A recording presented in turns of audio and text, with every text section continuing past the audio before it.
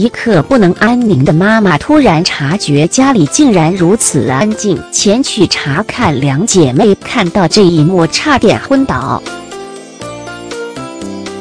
养小孩就像养狗狗一样，常常发生一些好笑的事，吵吵闹闹和嘻嘻笑笑是很平常的。但当你察觉到家里变得很安静的时候，可能就是有大事要发生了。美国有位妈妈和两个孩子一起待在家，平常两姐弟总是吵吵闹闹的。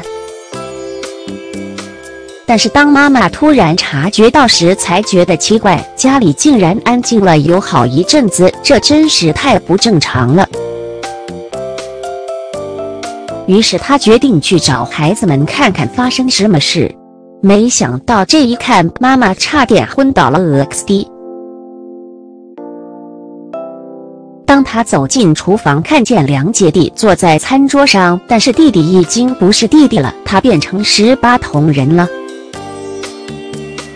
原来是姐姐将一整罐花生酱都涂到弟弟身上，坐在一边的姐姐还双手沾满了花生酱。妈妈一瞬间都傻眼了，还是保持冷静的问孩子们：“你们在干吗？”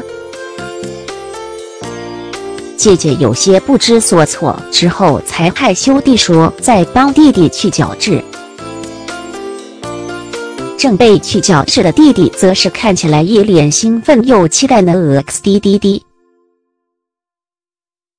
相信大多数的家长看到这一幕，应该都崩溃大叫了吧？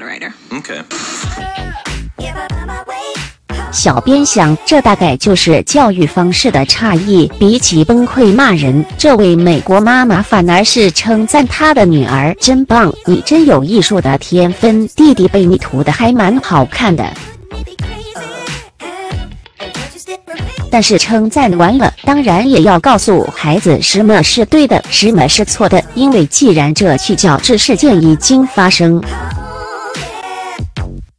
那么责备孩子已经于事无补。那么不如换个角度教育孩子，也不会伤了孩子的心。被涂满花生酱的弟弟